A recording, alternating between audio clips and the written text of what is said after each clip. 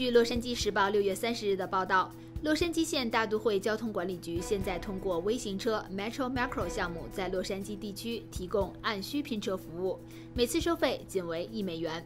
微型车与 Uber 和 Lyft 等其他按需服务类似，允许参与者在有用车需求时或提前在手机上安排。乘客最多可以与十个人共用一辆车，所有乘客和司机都必须戴上口罩，而且只能在特定时间内预定往返特定区域的车，即出发地点和目的地必须在同一个地理区域内。但乘客不能搭微型车去洛杉矶国际机场，整个行程只需要一美元。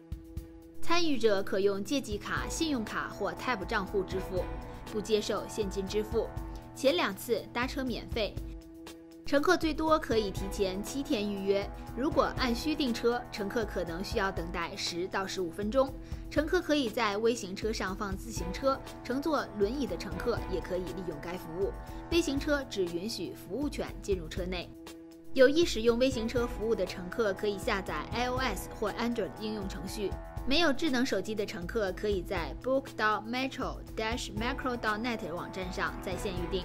乘客也可以通过电话三二三四六六三八七六进行预定